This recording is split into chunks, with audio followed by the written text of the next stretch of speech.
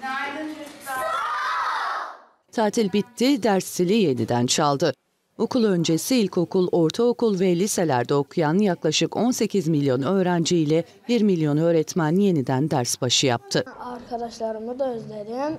Okula, öğretmenimi de özledim. Sömestr tatilinin bitmesiyle yollara düşen öğrenci ve öğretmenler trafikte yoğunluk oluşturdu. 2017-2018 eğitim öğretim yılı 8 Haziran Cuma günü sona erecek.